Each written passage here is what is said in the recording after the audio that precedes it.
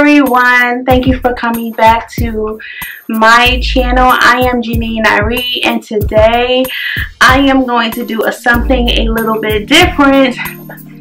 I'm going to be talking about the 40 lessons that I've learned at 40 years old. So if you may or may not know, I am turning 40 this year and I wanted to share some valuable lessons that I've learned since I've been living on this earth for 40 years my 40 years of living. It's to be a two-part video. I'm to do the first 20 here and then the second 20 on the part two because I didn't want it to go over too too long so if you're interested stay tuned and one of the lessons is just go ahead and subscribe. And subscribe to the channel, become a part of my family. Hit the notification bell if you want to see my posts, if you want to be notified when I post. And if you are interested in hearing um, the 40 lessons that I've learned at 40, stay tuned and let's get into the video. Number one is self-love is the most important concept that you will learn in life. Self-love to me means how you talk to yourself, how you express to others, and how you feel about you. How do you feel about you? That's important because if that's not right, it will spill into everything in your life. Like everything, girl, God, whatever. Please, man, please, sir. Govern yourselves accordingly, okay? Govern yourselves with self-love because if you don't, it's it can be detrimental to, to you. So yeah, that's number one. Number two, I've learned the true value of time and not to waste it. Don't waste your time, period. It's too valuable. It's, it's, it's more valuable than money. Number three, not all friends are friends. Yes, they're your friend. Yes, you like to have fun. You guys connect. Some friends are just surface, and that's a surface friend. And some friends are planted, planted deep into your life and they are your friends forever. Know the difference between the two, okay? Number four, expectations are not reality. Stop expecting um, other people to do certain things that is just not in them to do, period. Don't put your expectations that are unreasonable and some people put expectations on others that they wouldn't put on themselves i'm just saying but expectations are not reality. So you have to allow people to be who they are and then you have to decide what you can do and how you're going to relate to them. But don't put these unreasonable, insurmountable expectations on people that you know that they cannot live up to. They're human just like you. Number five is love is kind.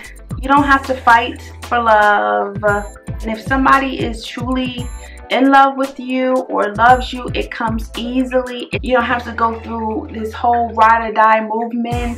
Show and continuously prove yourself to receive love. Love is kind. Now, relationships are hard.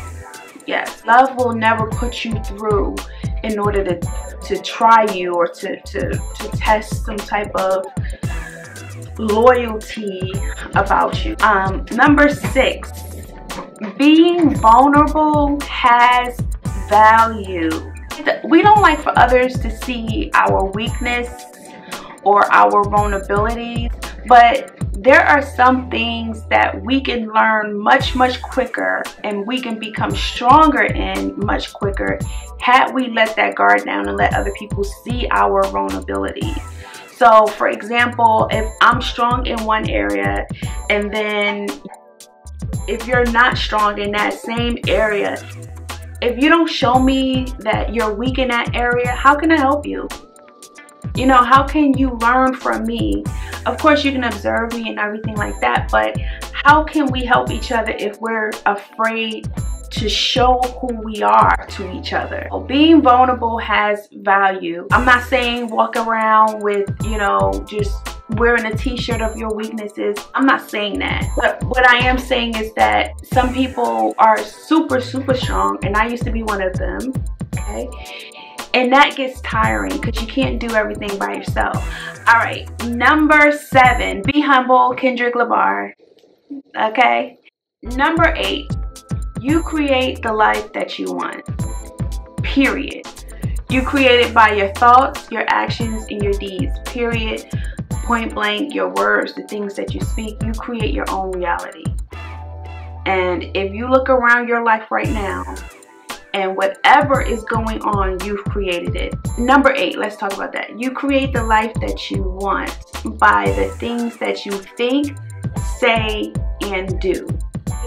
So, this is why prayer, meditation, journaling, all of those things are so important because if you write something down, it's going to come into fruition. If you believe it, if you think it, if you believe in what you're writing, it's going to come to pass. That's why you have to affirm yourself. You have to speak greatness to yourself. You have to think positive. They say positive thinking is everything. It is because you create your own reality and you create your own life. Number nine, fear is paralyzing and it robs you of your time, relationships, and ultimately it robs you of the life that you want. Fear is something that I've just continuously every every year I work on my fears. Try to analyze and look at your fears and then try to overcome them so that they don't hinder you from living the life that you want. Number 10, communication is listening. Listen to people. Don't talk over people. Learn how to communicate effectively so that your relationships can flourish. Communication is listening as well as speaking. You don't always have to have the last word. You're not always right. And yeah, you have to listen to what people are saying. You ever had this happen to you where someone said something about you and then two or three years later a different person says the same thing about you and then maybe three months later somebody else says the same thing and repeats over and over? Because you're not listening you're not getting it. And i'm not saying that you have to take and take everything that everyone has to say about you or to you. No. Toxic people you know to the left if a person keeps saying the same thing that's been said to you over and over again, you have to take stock in that and you have to look at yourself at some point and listen to what that person is telling you so that you can become better. Number 11, stop comparing yourself to others. We all do that. I do that. You do it don't do it. You are exactly where, where you're supposed to be in life. I know other people's lives look so grandiose and all of those things, but you don't know what they're going through. You, you, you just don't know. And they may not be going through anything. Just be happy for them and move on. Number 12, learning how to be healthy is extremely important. And I mean learning how to be healthy for you. If you're predisposed to certain ailments, you need to kind of learn about those elements, learn how to take care of yourself. Um, just exercising and um, exercising your mind, your body, and your spirit. All of those things are essential. Um, and I did not realize how big health was until I started getting older. Because, you know, at, when you're young, you just think you're invincible. Like, I'm not to get sick. Oh, what? You got the flu or you have this or you have that. I'm never to get that. Yeah, like now I wake up with aches and pains and I'm like, okay, I have to drill down on my health. Health is really important. All of that ties back into self-love, which is number one. Number 13, no one owes you anything. No one, no one owes you anything, not your parents, Number 14, you can overcome all things and move mountains if you have the faith to do so. Whether it is depression or abuse or anything, you can overcome things if you have the faith to do so. You may need help from outside resources, but you can overcome anything. Don't believe that you can't, because then you're already defeated. Number 15, consistency is important in all areas of life. I am struggling with this. Consistency is so important, y'all. You have to be consistent. You have to train yourself to be consistent if you're not a consistent person. Don't wait until you're 40 to start learning. Although if you are 40 and over, you can start learning today. Um, but it's like a muscle. You have to train and build it. For me, at least, I am not a consistent person. And I feel like because of that, I have not accomplished certain goals and dreams and aspirations. Number 16, believe in yourself. Number 17, look at yourself before you place the blame on others. Don't go just willy-nilly placing blame on everybody and you ain't take no accountability or no blame for yourself. Number 19, understand the meaning and importance of friendships. That goes back to what i was saying knowing who your true friends are. Um, but you know you have to learn how to be a friend as well and understand what friendships are important to you and why they are important. Some people are friends for the wrong reasons. It's because like what you can do for me, I'm friends with you. So understand the importance of friendship and what that means to you? What is a true friend to you? Have you ever thought about that? What is, does that mean someone that you have to speak to every day? Or is it, it could be, a true friend can be someone who you speak to every other year. How important is it for you to have true friends? If you find one or two friends, you're, you're golden. You know, everybody is not going to be your friend. Um, and I had to learn that some of my friends came in seasons. And I didn't understand the importance of friendships until much, much later in life to like now where it's like, dang, I know who my real friends are. And I have a new level of respect for them. So that was something that I had to learn later in life. Um, and I've met some really dope people in my life.